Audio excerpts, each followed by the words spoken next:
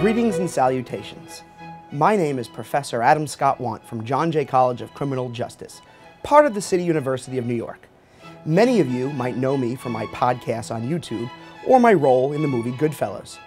Today, we are here to launch and unveil our latest academic technology research and development project, the lipase oral osmotic gauged instant enzyme test. We call it the LOOGIE. The LOOGIE is the latest in anti-cheating academic technology.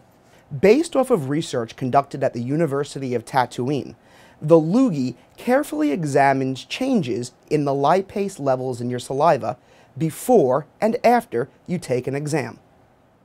Instructors everywhere have begun to utilize the efficiency of the LOOGIE system. Now you could sit back, crack open that book, and rest assured, cheaters will be brought to justice. At first, when I saw this, I thought it was ridiculous. But when I tried it and it took one lick, I loved it. Mm. You know, if they're gonna do this, they really should accommodate people with tongue rings. There's no maple in here, right? I'm allergic to maple. As with all other narcotic-based tests, results may vary. Our research has shown that dishonesty begins in the orbital frontal cortex of the brain which stimulates the amygdala to produce lipase, increasing production by as much as 25%. Therefore, we've concluded that if we can measure the amount of lipase in a student's saliva before and after an exam, we can figure out how much they've cheated.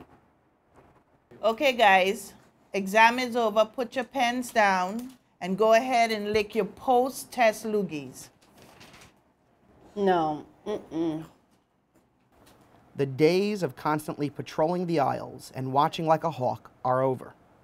Unfortunately, teachers still have to confront their students. Observe as our professor handles the situation with ease. What's wrong? Wow. What happened? Nothing. I got you. Cheater! I hope you enjoyed learning about our latest academic technology initiative. To learn more, you could visit us online at loogie.wandt.us. On behalf of myself and my office, I want to wish everyone a very happy And remember, if an academic said it, it has to be true. Have an honest tomorrow.